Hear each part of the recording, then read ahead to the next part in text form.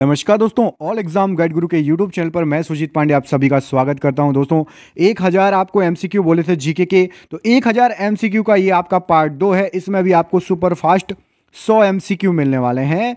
GK के mix MCQ रहेंगे। इतिहास भी है पॉलिटी भी है जियोग्राफी भी है इकोनॉमी भी है साइंस भी है। ठीक है? तो सभी क्वेश्चन मिक्स क्वेश्चन है। अच्छे लेवल के क्वेश्चन है जो कि आपको एग्ज़ाम में आ सकते हैं। दोस्तों, आपका थोड़ा सपोर्ट चाहिए प्लीज़ वीडियो को आप लोग दोस्तों को शेयर कर दिया करो।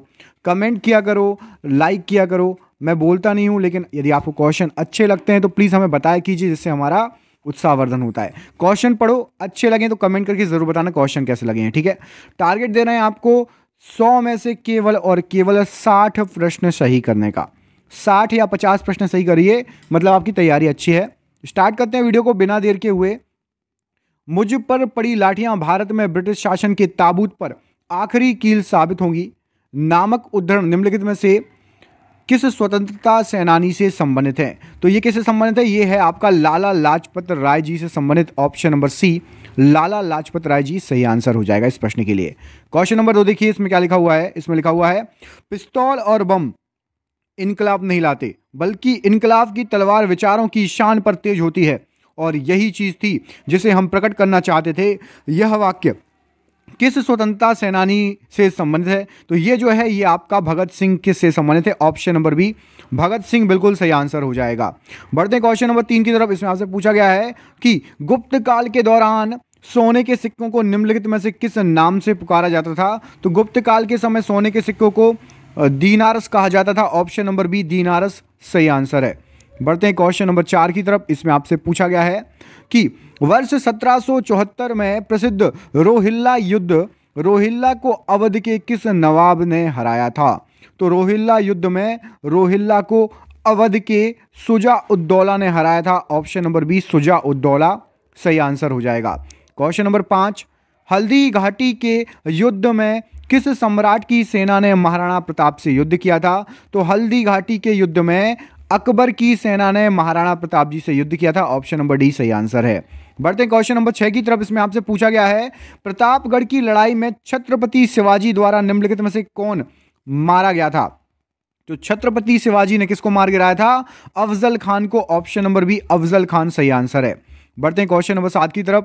इसमें पूछा गया है, भारत में चट्टानों को काटकर बनाई गई सबसे पुरानी, बची हुई बाराबर गुफाएँ। निम्नलिखित में से किस काल की है? तो बाराबर गुफाएँ जो कि चट्टान को काट के बनाई गई थी, वो है आपकी मौर्य साम्राज्य के समय की ऑप्शन नंबर ए मौर्य साम्राज्य के समय की गुफाएँ हैं। क्वेश्चन नंबर देखिए, आठ इसमें आपसे पूछा गया है। निम्नलिखित में से किस राजा के शासनकाल के दौरान चीनी यात्री जुआन जेंग भारत आया था? तो जुआन जेंग कब आया था? यह आया था आपका हर्षवर्धन के समय। ऑप्शन नंबर सी जुआन जेंग हर्षवर्धन के समय आया था। बढ़ते क्वेश्चन नंबर नौ की तरफ़। Poverty and un British rule in India पुस्तक निम्नलिखित में से किसने लिखी है? तो poverty and un British rule in India ये पुस्तक लिखी गई है दादा भाई नौरोजी की। ऑप्शन नंबर ए दादा भाई नौरोजी राइट आंसर है। बढ़ते क्वेश्चन नंबर दस की तरफ़। दीलवाड़ा जैन मंदिर किस राज्य में स्थित है? तो दीलवाड़ा जैन मंदिर आपका राजस्थान में स्थित है। ऑप्शन नंबर सी सही आंसर है, राजस्थान। क्वेश्चन नंबर ग्यारह इसमें आपसे पूछा गया है श्री रंगपट्टम किला डैश में अवस्थित है तो श्री रंगपट्टम किला जो है, वो है आपका, यहाँ पर सही आंसर क्या हो जाएगा? ऑप्शन नंबर देखते हैं क्वेश्चन नंबर ग्यारह, और ये क्वेश्चन आपके लिए है। मतलब इस क्वेश्चन का आंसर आपको कमेंट बॉक्स में कमेंट करके मुझे बताना है। आपको बताना है कि श्री रंगपट्टम किला डैश में स्थित है। ऑप्शन आपके सामने है। केरल, तेलंगाना, तमिलनाडु, कर्नाटक। श्रीरंगपट्टम किला कहाँ पर स्थित है? इस प्रश्न का आंसर कमेंट बॉक्स में कमेंट करके आप बताएँगे मुझे। क्वेश्चन नंबर बारह देखिए। निम्नलिखित में से किसे आदर पूर्वक भारत का वयोवृद्ध पुरुष कहा जाता है? तो वयोवृद्ध वृद्ध पुरुष जो है दादा भाई नौरोजी को कहा जाता है। ऑप्शन नंबर बी सही आंसर है। क्वेश्चन नंबर तेरह देखिए। असहयोग आंदोलन किस वर्ष शुरू किया गया था? तो असहयोग आंदोलन आपका 1920 में शुरू किया गया था ऑप्शन नंबर ए यहाँ पर। असहयोग आंदोलन के लिए सही आंसर हो जाएगा। अगले क्वेश्चन में आपसे पूछा गया, निम्नलिखित में से किसने 618 में हर्षवर्धन को हराया था? तो 618 में हर्षवर्धन को हराने वाले थे ऑप्शन नंबर बी कौन थे? पुलकेशन द्वितीय। ऑप्शन नंबर बी यहाँ पर सही आंसर हो जाएगा। क्वेश्चन नंबर देखिए, पंद्रह।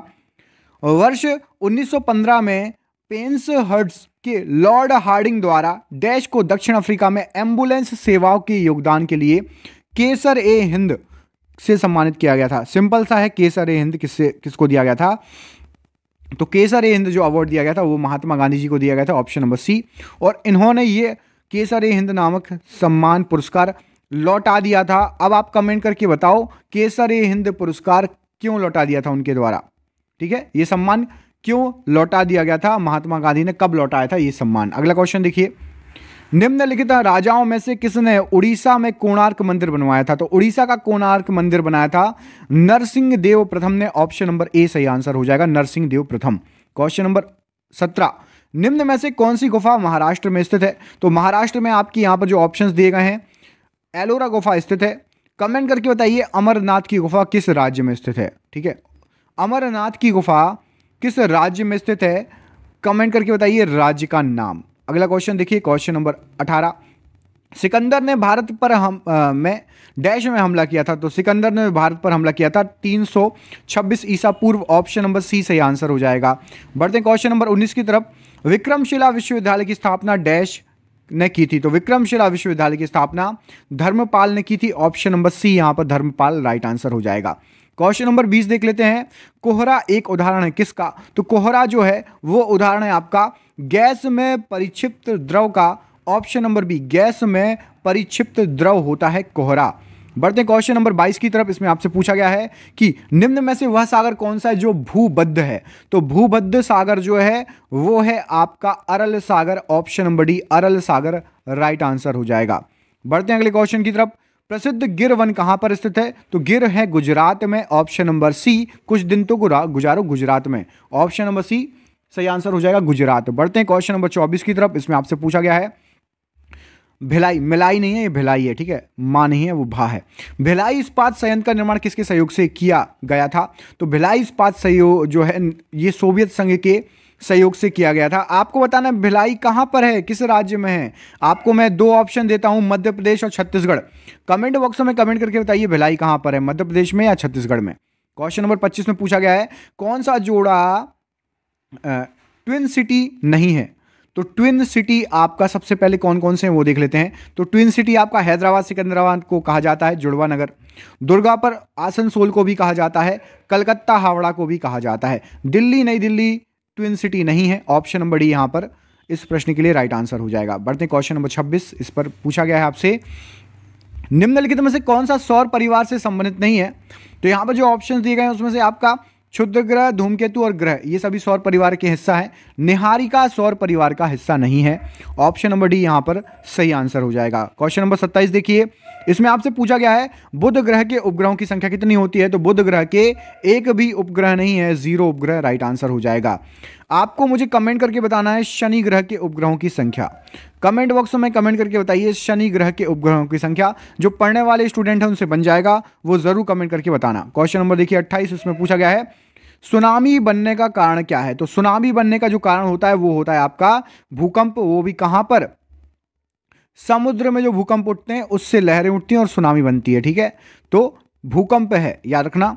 समुद्र में समुद्र तल में परिवर्तन नहीं है, ये मत लगा देना। कई लोग समुद्र सोच के ये लगा देंगे। भूकंप ही होता है, बस समुद्र में भूकंप होता है। अगला क्वेश्चन देखिए क्वेश्चन नंबर उनतीस। ट्रांस साइबेरियन रेलवे पश्चिम में पश्चिम में डैश को पूर्व में जोड़ती है, बताइए। तो ट्रांस साइबेरियन रेलवे लाइन बहुत ज़्यादा फ़ेमस है। ये सेंट पीटर्सबर्ग को ब्लांडी वोटक से जोड़ती है। ऑप्शन नंबर डी यहाँ पर सही आंसर हो जाएगा। सेंट पीटर्सबर्ग को ब्लांडी वोस्टक से जोड़ती है। अगला क्वेश्चन देखिए। श्वेत कोयला किसको कहा जाता है? तो श्वेत कोयला कहा जाता है आपका ऑप्शन नंबर बी, जल विद्युत को। जल विद्युत से भी हम प्रोड्यूस कर सकते हैं एनर्जी तो श्वेत कोयला कहा जाता है। अगला क्वेश्चन देखिए स्मोग एक मिश्रण है किस चीज़ का? तो स्मोक जो होता है, वो धूम्र और कोयले का मिश्रण होता है। ऑप्शन नंबर डी यहाँ पर स्मोक के लिए सही आंसर हो जाएगा।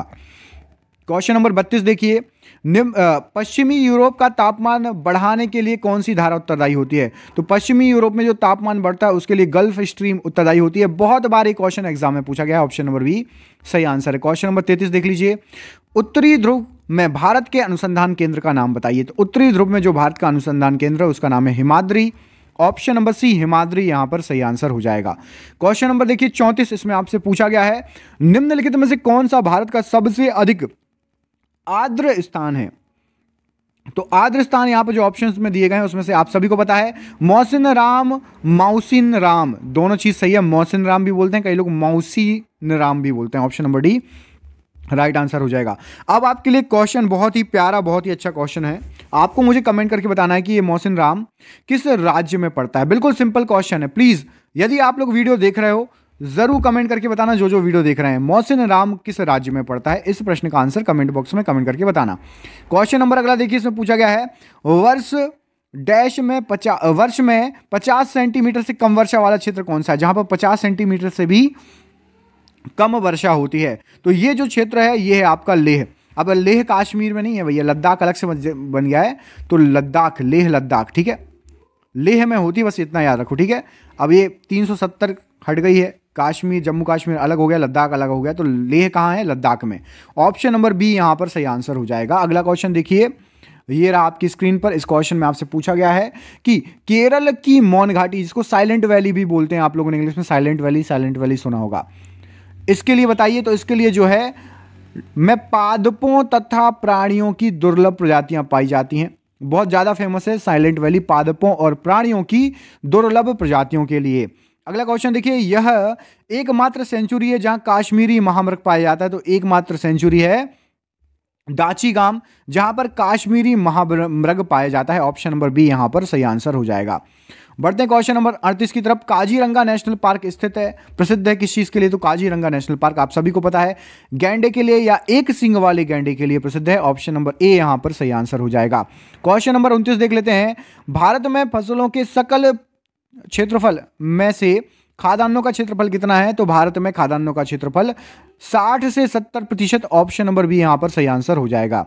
बढ़ते हैं क्वेश्चन नंबर 40 की तरफ़। इसमें आपसे पूछा गया है, Visvesvaraya iron and steel limited कहाँ पर स्थित है? तो Visvesvaraya iron and steel limited Bhadravati में स्थित है। ऑप्शन नंबर बी भद्रावती यहाँ पर सही आंसर हो जाएगा। क्वेश्चन नंबर इकतालीस देखिए। निम्न में से डैश एक कमज़ोर बल है। तो कमज़ोर बल आपको बता दें, गुरुत्वाकर्षण बल बहुत कमज़ोर है। गति बल द्रव्यमान और लघु रेंज बल अच्छा है। गुरुत्वाकर्षण बल कमज़ोर बल है, नहीं तो हम जो है कूद ही नहीं पाते, चल ही नहीं पाते, चिपक जाते, है ना? इतना ज़्यादा शक्तिशाली बल नहीं है गुरुत्वाकर्षण बल इन बाकी बलों की अपेक्षा, है ना? नहीं तो सांप बन के चलते रेंग रेंग के। अगला क्वेश्चन देखिए ये आपकी स्क्रीन पर। ब्रह्मांड में किन्हीं दो निकायों के बीच गुरुत्वाकर्षण बल पर निर्भर नहीं करता।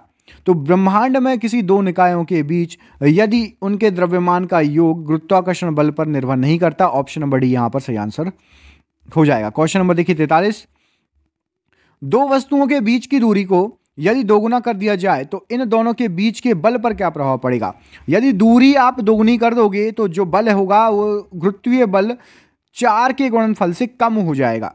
गुरुत्वाकर्षण बल, गुरुत्वीय बल कम हो जाएगा। जितना दूर रहेगा, उतना कम हो जाएगा। ठीक है? याद रखिएगा। अगला क्वेश्चन देखिए, ये आपकी स्क्रीन पर इसमें पूछा गया है आपसे। ब्रह्मांड में प्रत्येक वस्तु एक अन्य वस्तु को एक बल के साथ आकर्षित करती है, जो डैश के वर्ग के विपरीत अनुपातिक है।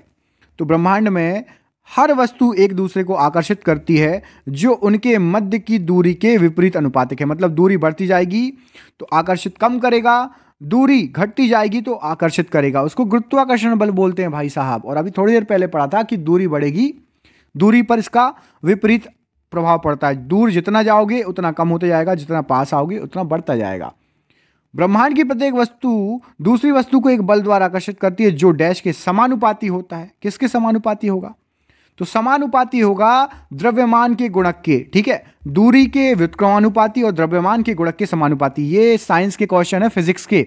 कई लोगों के ऊपर से जा रहे होंगे, ये क्वेश्चन एग्ज़ाम में आए हुए हैं।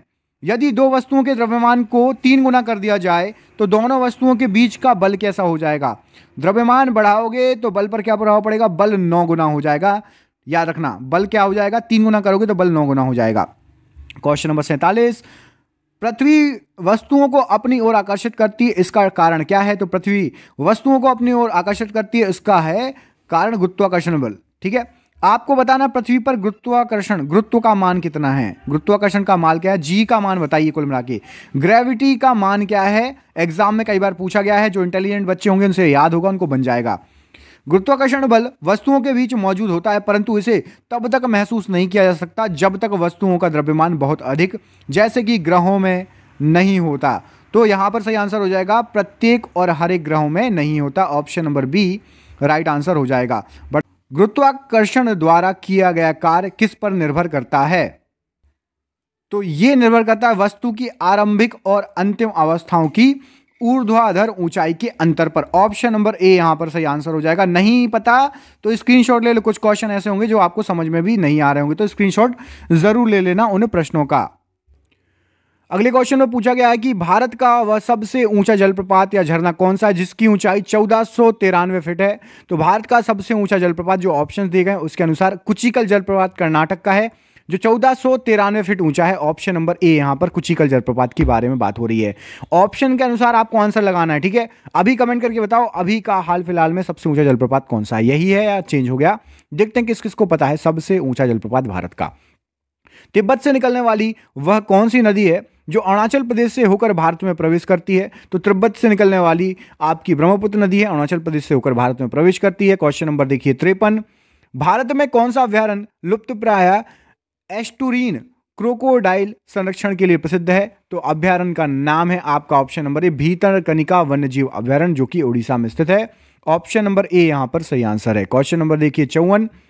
भारत के किस राज्य में गारो खासी पर्वत श्रेणी स्थित है? तो गारो और खासी पर्वत श्रेणी ये हमारा नॉर्थ ईस्ट में है, मेघालय में। ऑप्शन नंबर बी, मेघालय में सही आंसर हो जाएगा। कमेंट करके मेघालय के सीएम का नाम। बताइए। देखते हैं किस किस को पता है। मेघालय के सीएम का नाम। कमेंट बॉक्स में कमेंट करके ज़रूर बताइएगा।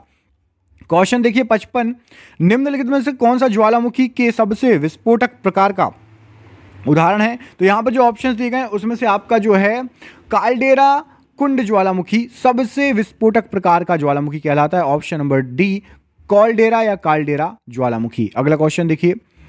पूर्व में भारत की सीमा किन किन देशों से लगती है? तो पूर्व में भारत की सीमा एक तो लगती है म्यांमार से और एक तो लगती है बांग्लादेश से। ऑप्शन नंबर डी सही आंसर हो जाएगा पूर्व में म्यांमार और बांग्लादेश। अगला क्वेश्चन देखिए, कौन सा पर्वत, भारतीय पर्वत विशालकाय पिरामिड जैसा दिखाई देता है तथा इसका एक समतल शिखर क्षेत्र तथा दो चोटियाँ हैं? तो विशालकाय पिरामिड जैसा दिखाई देता है, कामित पर्वत, इस पर समतल शिखर है और दो चोटियाँ हैं, ऑप्शन नंबर बी यहाँ पर कामित पर्वत सही आंसर हो जाएगा। क्वेश्चन नंबर देखिए, अंठावन। 2011 की जनगणना के अनुसार भारत का सबसे कम आबादी वाला राज्य कौन सा है? तो सबसे कम आबादी है सिक्किम में ऑप्शन नंबर डी, सिक्किम सही आंसर हो जाएगा 2011 की जनगणना के अनुसार। क्वेश्चन नंबर देखिए 59 कौन सा ग्रह सल्फ्यूरिक एसिड के घने, सफ़ेद और पीले बादलों से बना है? तो वो ग्रह है आपका शुक्र ग्रह, जो कि सल्फ्यूरिक एसिड के घने सफ़ेद और पीले बादलों से बना हुआ है। ऑप्शन नंबर सी यहाँ पर सही आंसर हो जाएगा। शुक्र ग्रह में है ये बादल। क्वेश्चन नंबर देखिए, साठ। कौन सा उपकरण भूकंप के दौरान सतह पर पहुँचने वाली तरंगों को मापता है? तो उसका नाम है आपका सीस्मोग्राफ। कल के वीडियो में मैंने ये पूछा भी था कि भूकंप भूकंप को किससे मापा जाता है? किस स्केल पर मापा जाता है? ऑप्शन नंबर सीस्मोग्राफ सही आंसर है। क्वेश्चन नंबर देखिए, इकसठ। इसमें पूछा गया है, लाखों साल पहले भारतीय उपमहाद्वीप मुख्य भूमि से अलग हो गया था। इसे किस महासागर के नाम से जाना जाता है? तो उस समय था ये तैथिस सागर। ऑप्शन नंबर डी तैथिस महासागर। राइट आंसर हो जाएगा। बढ़ते क्वेश्चन नंबर सिक्सटी टू की तरफ़। निम्नलिखित में से कौन सा भारतीय राज्य जिसकी सीमा नेपाल से नहीं लगती है? बताइए, कौन सा राज्य है? तो आपको बता दें, यहाँ पर आपका पश्चिम बंगाल की लगती है सीमा नेपाल नेपाल से सीमा लगती है, उत्तराखंड की भी लगती है और सिक्किम की भी। असम की सीमा नहीं लगती, नेपाल से। ऑप्शन नंबर सी सही आंसर हो जाएगा। क्वेश्चन नंबर सिक्सटी थ्री देखिए। निम्नलिखित में से कौन सी पर, परत हमारे वायुमंडल की ऊपरी सीमा है जो थर्मोस्पियर के ऊपर से लेकर दस हज़ार किलोमीटर तक फैली हुई है? तो थर्मोस्पियर के जस्ट ऊपर फैली हुई है आपकी बाह मंडल जिसको एक्सोस्फीयर बोलते हैं। ऑप्शन नंबर सी बाह्य मंडल राइट आंसर हो जाएगा। क्वेश्चन नंबर देखिए चौसठ इसमें पूछा गया है। निम्नलिखित में से किस हिमालय क्षेत्र को शिवालिक के नाम से भी जाना जाता है? तो शिवालिक कहलाता है बाह्य Himalaya. Option number D Shivalik कहलाता है बाह्य हिमालय। क्वेश्चन नंबर देखिए, पैंसठ। निम्नलिखित में से क्या रवि की एक फ़सल है? तो यहाँ पर ऑप्शन दिए ज्वार, तुअर, बाजरा और गेहूँ। रवि की फ़सल कौन सी है? ज्वार, तुअर, बाजरा और गेहूँ में से रवि की फ़सल। तो राइट आंसर हो जाएगा आपका यहाँ पर ऑप्शन नंबर डी गेहूँ को रवि की फ़सल है गेहूँ, ठीक है? Option number D right answer है। अगला क्वेश्चन देखिए क्वेश्चन नंबर छियासठ। निम्नलिखित में से कौन सा दर्रा पीर पंजाल पर्वत श्रृंखला से होकर मनाली और लेह को सड़क मार्ग से जोड़ता है तो मनाली और लेह को जोड़ता है रोहतांग दर्रा। ऑप्शन नंबर बी, रोहतांग दर्रा राइट आंसर हो जाएगा। क्वेश्चन नंबर देखिए सिक्सटी सेवन थार रेगिस्तान, जिसे ग्रेट इंडियन डेजर्ट भी कहा जाता है, यह कि पहाड़ियों के, यहाँ की पहाड़ियों के पश्चिमी सीमांत की ओर क्या स्थित है? तो पश्चिमी सीमांत की ओर थार के रेगिस्तान के अरावली पर्वतमाला स्थित है। ऑप्शन नंबर डी, अरावली पर्वतमाला। अगला क्वेश्चन देखिए, इसमें पूछा गया है, निम्न में से कौन सी हिमालय पर्वतमाला लेह के उत्तरी भाग से तिब्बती सीमा तक फैली हुई है, जिसमें दिगरला, खारदुंगला, दर्रे शामिल हैं। तो खारदुंगला और दिगरला, ये जो दर्रे हैं, ये आपके लद्दाख पर्वतमाला में शामिल है। ऑप्शन नंबर सी सही आंसर हो जाएगा, लद्दाख पर्वतमाला। अगला क्वेश्चन देखिए 69 क्वेश्चन नंबर 2011 की जनगणना के अनुसार निम्न में से कौन सा राज्य भारत में सबसे अधिक घनी आबादी वाला राज्य था? तो सबसे ज़्यादा घनी आबादी बिहार में है, ऑप्शन नंबर ए, एक बिहारी, सब पर भारी राइट आंसर हो जाएगा। अगला क्वेश्चन देखिए क्वेश्चन नंबर सत्तर। 2017 में भारत और चीन के मध्य डोकलाम पर क्षेत्रीय विवाद हुआ था। आप सबको पता है डोकलाम विवाद। यह डोकलाम क्षेत्र डैश त्रिजंक्शन, त्रिसंगम के कोने में स्थित है। कौन कौन से देश इस कोने में है डोकलाम में? तो डोकलाम में आपका लगता है भूटान सिक्किम और चीन ऑप्शन नंबर बी यहाँ पर सही आंसर हो जाएगा, भूटान, सिक्किम, चीन। क्वेश्चन नंबर देखिए, इकहत्तर। कौन सी परत या मंडल पृथ्वी की सतह से शुरू होकर आठ से साढ़े चौदह किलोमीटर ऊपर तक विस्तृत है? वायुमंडल का यह हिस्सा सबसे घना होता है और इस क्षेत्र में लगभग सभी मौसम होते हैं। तो ये कौन सी परत होती है? ये होती है आपकी ट्रोपोस्पियर जिसको क्षोभ मंडल कहते हैं। यहीं पे वायुमंडल है। क्षोभ मंडल में ही है। अगला क्वेश्चन देखिए साल सागुन नीम सीसम, जो कि फर्नीचर वगैरह के लिए यूज़ होते हैं, परिवहन वगैरह के लिए, जैसी सख्त लकड़ी वाले वृक्ष किस प्रकार के वन में पाए जाते हैं? तो ये सब जो हैं, ये पाए जाते हैं आपके ऑप्शन नंबर बी, किसमें? ट्रॉपिकल जो है, deciduous forest, option number B यहाँ पर इस प्रश्न के लिए सही आंसर हो जाएगा। बढ़ते हैं अगले क्वेश्चन की तरफ़। अगले क्वेश्चन में आपसे पूछा गया है कि रॉबर्ट के रॉबर्ट के खेतों की मिट्टी रेतीली है। उसके खेत के लिए आदर्श फ़सल कौन सी होगी? भैया, एक रॉबर्ट नाम का व्यक्ति है, उसके खेतों की मिट्टी रेतीली है। तो वहाँ पर कौन सी फ़सल आदर्श होगी? तो आदर्श फ़सल वहाँ पर मक्का आराम से लग जाएगा। Option number B, right answer हो जाएगा। क्वेश्चन नंबर देखिए, चौहत्तर। तिब्बत में परिवहन के तौर पर निम्नलिखित में से किस जानवर का प्रयोग किया जाता है? तो परिवहन के लिए तिब्बत में याक का प्रयोग किया जाता है। जैसे रेगिस्तान में ऊँट का प्रयोग किया जाता है, वैसे तिब्बत में ठंडी क्षेत्रों में याक का प्रयोग किया जाता है। क्वेश्चन नंबर देखिए सेवेंटी फाइव। निम्नलिखित में से कौन सा भारत का पर्यावरणीय आंदोलन संघर्ष सीधे तौर पर पेड़ों की कटाई रोकने से संबंधित है। तो पेड़ों की कटाई रोकने के लिए चिपको आंदोलन। सुना होगा आप सभी ने option number C, right answer है। क्वेश्चन नंबर देखिए छिहत्तर, ऑपरेशन फ्लड निम्नलिखित में से किस से संबंधित है? तो ऑपरेशन फ्लड आपका भारत में दुग्ध उद्योग से संबंधित है। ऑप्शन नंबर बी यहाँ पर राइट आंसर हो जाएगा। बढ़ते क्वेश्चन नंबर सतहत्तर की तरफ़ इसमें आपसे पूछा गया है, वाल्मीकि टाइगर रिज़र्व कहाँ स्थित है? तो वाल्मीकि टाइगर रिज़र्व आपका पश्चिम चंपारण बिहार में स्थित है। ऑप्शन नंबर बी सही आंसर है। क्वेश्चन नंबर देखिए, अठहत्तर सेवेंटी एट विश्व का सबसे बड़ा डेल्टा कौन सा है? तो विश्व का सबसे बड़ा डेल्टा गंगा ब्रह्मपुत्र डेल्टा है। Option number C right answer हो जाएगा। क्वेश्चन नंबर देखिए 79 निम्नलिखित में से कौन सा पार्क यूनेस्को की विश्व विरासत सूची में भारत का पहला मिश्रित विश्व विरासत स्थल है? तो भारत का पहला मिश्रित विश्व विरासत स्थल आपका जो है, कंचनजंगा है। ऑप्शन नंबर डी यहाँ पर सही आंसर हो जाएगा। क्वेश्चन नंबर देखिए अस्सी। निम्नलिखित में से किस राज्य केंद्र शासित प्रदेश में आपको एक सिंह वाले गेंडे मतलब भारतीय राइनों के प्राकृतिक आवास मिलने की अधिक संभावना है? तो एक सिंह वाले गेंडे आप सभी को पता है, असम में Kaziranga option number C right answer हो जाएगा।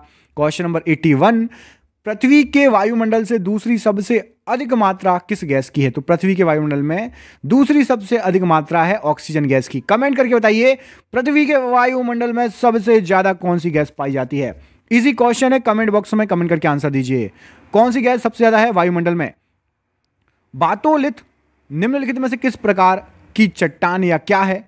प्रदूषक है कि धारा है कि घाटी है? तो बाथोलिथ जो है वो है आपकी अग्नि चट्टान ऑप्शन नंबर ए अग्नि चट्टान राइट आंसर हो जाएगा। क्वेश्चन नंबर 83 निम्नलिखित में से क्या पृथ्वी के चुंबकीय क्षेत्र के लिए उत्तरदायी है? तो पृथ्वी के चुंबकीय क्षेत्र के लिए जो आउटर क्रोड है, जिसको बाह्य क्रोड भी कहते हैं, उत्तरदायी होता है। क्वेश्चन नंबर 84 इसमें पूछा गया है, भारत में किस नदी को देहांग भी कहा जाता है, देहंग कहा जाता है? ब्रह्मपुत्र नदी को ऑप्शन नंबर ए अगला क्वेश्चन देखिए, क्वेश्चन नंबर पचासी। किस बल के कारण गतिमान वस्तुएँ मतलब वायु और जल का प्रवाह, उत्तरी गोलार्ध में दाई ओर और दक्षिणी गोलार्ध में वायु और विक्षेपित होता है? कौन सा बल है? तो उस बल का नाम है आपका कोरिओलिस बल, ऑप्शन नंबर सी। यहाँ पर सही आंसर हो जाएगा कोरियोलिस बल। क्वेश्चन नंबर छियासी देखिए, चंद्रमा डैश पिंड का उदाहरण है तो चंद्र चंद्रमा जो है एक अधिप्तिमान पिंड है। ये क्या है? सूर्य की रोशनी से चमकता है। ऑप्शन नंबर बी अदीप्तिमान पिंड है, चंद्रमा। क्वेश्चन नंबर सतासी देखिए। वह प्रक्रिया जो पृथ्वी की ऊपरी सतह के भागों को खिसकाती है, उभारती है, निर्मित करती है, क्या कहलाती है? तो उस प्रक्रिया को कहा जाता है पटल विरूपण मतलब diastrophism. Option number A, पटल विरूपण सही आंसर है। क्वेश्चन है थोड़ा हटके। क्वेश्चन नंबर देखिए अठासी, सतलज नदी किस दर्रे से होकर भारत में प्रवेश करती है? तो सतलज नदी शिप किला दर्रे से होकर भारत में प्रवेश करती है। ऑप्शन नंबर बी सही आंसर है। स्लेट शैल किस प्रकार का शैल है? तो स्लेट या सेल जो है, वो आपका कायंत्रित चट्टान से होता है। ऑप्शन नंबर डी, कायंत्रित शैल है। कायंत्रित चट्टान है। क्वेश्चन नंबर देखिए, नब्बे। निम्नलिखित में से किस राज्य से होकर कर्क रेखा गुजरती है? तो यहाँ पर जो ऑप्शंस दिए गए उसमें से आपकी मिजोरम से कर्क रेखा होकर गुजरती है।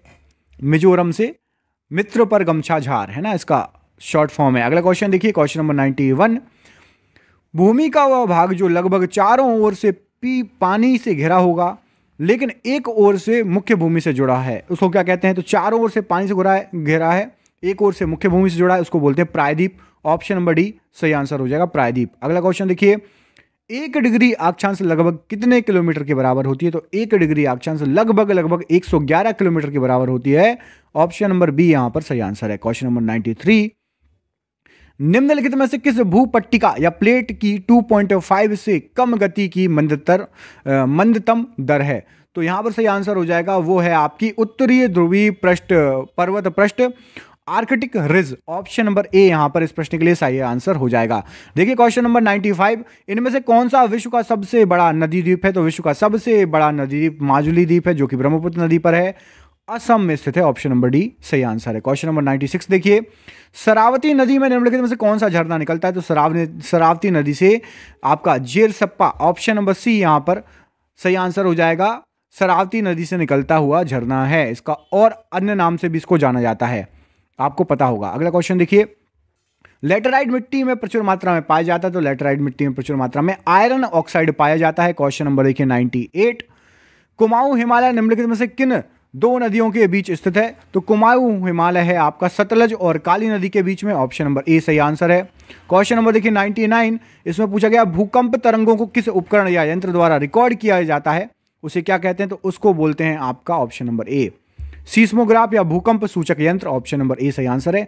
और ये रहा आज का आपका आखिरी क्वेश्चन इसके बाद आपको स्क्रीन पर इसका जो पार्ट वन है, वो शो हो जाएगा। जिसने पार्ट वन नहीं देखा, देख लेना। भारत का मृदा सर्वेक्षण किस वर्ष में मृदाओं के वैज्ञानिक सर्वेक्षण के लिए स्थापित किया गया था। मतलब आपको बताना है, मृदा सर्वेक्षण विभाग कब स्थापित हुआ था भारत में? जिसको नहीं पता लिख देना सर, सौ क्वेश्चन का आंसर नहीं पता, मैं कमेंट में रिप्लाई कर दूँगा। जिसको पता है कमेंट बॉक्स में आंसर कमेंट करके बताइए। मिलते हैं आपसे अगली वीडियो में, तब तक के लिए अपने ख्याल रखिए। आप सभी का बहुत बहुत धन्यवाद दोस्तों। इसका पुराना वीडियो ज़रूर देख लेना स्क्रीन पर आपको आ जाएगा। जय हिंद, जय भारत।